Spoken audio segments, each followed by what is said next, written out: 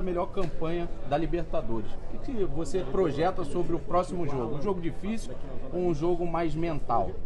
É, eles vieram diferente do que a gente esperava, né? É, lá a gente sabe que vai ser outro jogo, mas enfim, resultado de 1 a 0 foi importante e trabalhar bem para o próximo jogo de volta, né?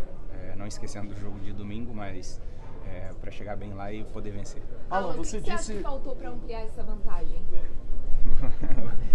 É, o gol, né? É, faltou a gente é, fazer gol e, enfim. O Alan, você disse que eles vieram diferente do que vocês esperavam. Vocês esperavam um Olímpia diferente do que foi, no sentido de. Não, no sentido de, de, de pressionar mais. É, eles baixaram um pouco as linhas. É, a gente viu vídeos é, de, deles jogando diferente, mas enfim, é, lá vai ser outro jogo. A gente sabe que vai ser muito mais difícil e a gente vai vai estar tá concentrado para poder sair.